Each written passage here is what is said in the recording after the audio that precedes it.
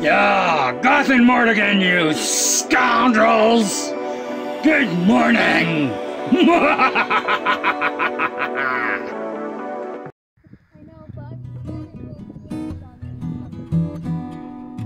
I'm recording. Laura's just so used to people.